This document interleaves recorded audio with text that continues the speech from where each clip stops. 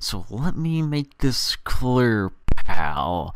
If I hear any more knocking the next day I log on this website of my quality time, you're gonna regret it.